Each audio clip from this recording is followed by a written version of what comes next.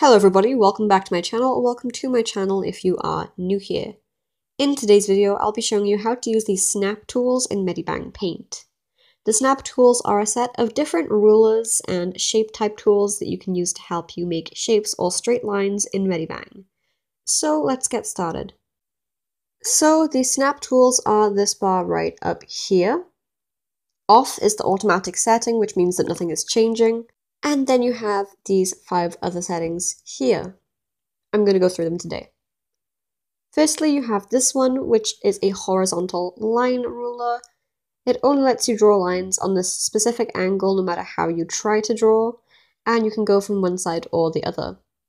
This is really helpful for making certain patterns, like on clothing or on certain parts of buildings. It has a grid on this, you would expect it to be a grid ruler, but this one just does a up and down straight ruler.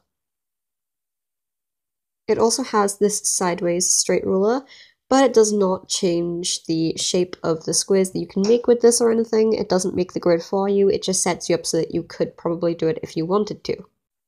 It's a pretty good ruler, again for patterns and backgrounds and stuff.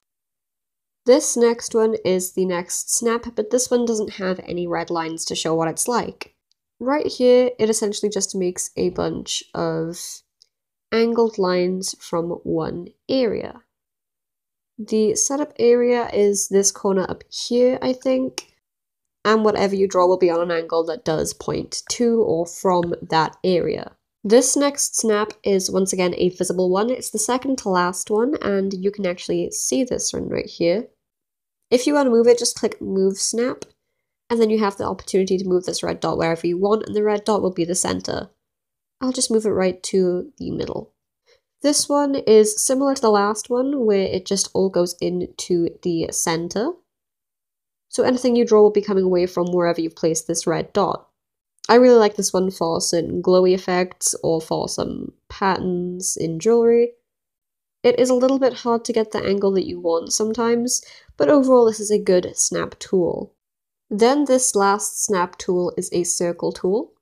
You can move it around by holding in the red area, and you can make it smaller or larger by using this corner circle right here and pulling it in or out. Then you can use the other two to manipulate the dimensions of it. You can make it wider or taller or whatever you want to do.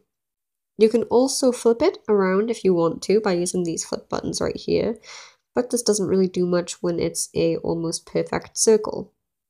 And then to actually use it, you would just go somewhere and it would automatically make that a circle for you. It should be noted that you cannot use this outside of the tool's boundary. You can only draw on this line that's set up for you. So if you wanted to try and draw something smaller than that without moving it or just drawing anywhere that wasn't that specific line, it would not work. For example, you cannot draw outside of the boundary. I'm trying here and nothing comes up. And you cannot draw inside this boundary without it being on this specific line. It is a good circle tool though. I personally really like it. It feels a lot different from most circle tools that you would get, but it's definitely not a bad one. You can definitely make some really nice patterns with this and just do anything that you would usually use a circle tool for.